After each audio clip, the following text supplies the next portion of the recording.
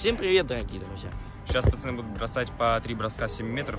Стоп, стоп, стоп. Совсем скоро этот парень получит очень смешную стрижку. И если вы хотите знать почему, то приходите на наш YouTube канал и смотрите последнее длинное видео на нем. Кто больше забьет, тот и победил.